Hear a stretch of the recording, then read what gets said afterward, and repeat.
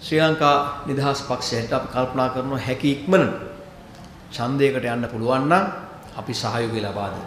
දැන් අපිට කල්පනා කරන්න සිද්ධ වෙනවා රටේ වර්තමාන තත්ත්වය මොකක්ද කියලා.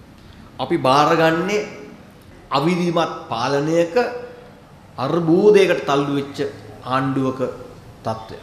නිසා නැවත 2015ටම ගිහිල්ලා මුල ඉඳන්ම පටන් ගන්න වෙලා තියෙනවා. ඒ නිසා ජනාධිපති ගෝඨාභය රාජපක්ෂ මැතිතුමා එතුමා කල්පනා කරා 15ක් වගේ පොඩි කැබිනට් මණ්ඩලයක් පත් කරා.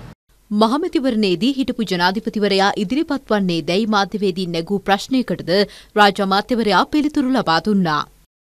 ඔව් අපි එතුමාට ඉල්ලීමක් කළා තියෙනවා අපේ පක්ෂ සභාපති හැටියට පොළොන්නරු දිස්ත්‍රික්කයේ තමයි එතුමාගේ සිල් වෙන ආදරය කරන්නේ. එතුමාට ආකර්ශනීය දිස්ත්‍රික්කේ ඒ නිසා එතුමාට පොළොන්නරු දිස්ත්‍රික්කයෙන් ඉදිරිපත් වෙන්න කියලා. එතුමා අවසාන තීන්දුව කරා අපිට දැනුවත් කළා බලාපොරොත්තු වෙනවා. පක්ෂයක් හැටියට නියත වශයෙන් අපේ පක්ෂ සභාපති හැටියට එතුමා දේශපාලන ධාරාවේ ඉන්න ඕනේ මහමැතිවරණයට ඉදිරිපත් වුණන්න ඕනේ කියලා.